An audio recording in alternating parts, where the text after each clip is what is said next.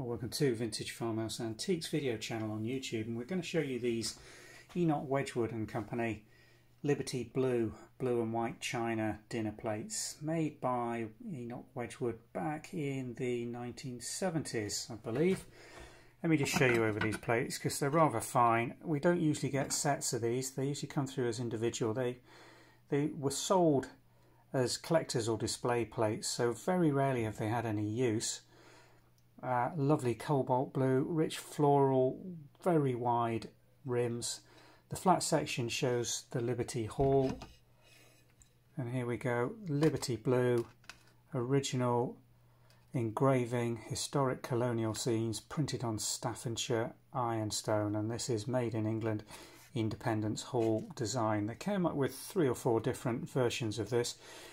Quite characteristically, these have got the um, kiln marks where they've been stacked on. These aren't faults, these, these are part of this ironstone design. These are where they were stacked in the kiln.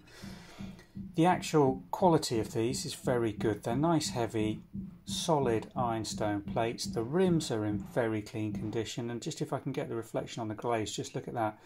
No knife marks, no wear, no nothing. These are really, really fine. And we've got four of them available in matching conditions so quite unusual to have that somebody looking to put a dresser display together and this is your thing then these really could be of interest to you. The description link below in the YouTube video will take you directly through to the website where we've got these available for sale on the vintage and antiques website. Thanks for watching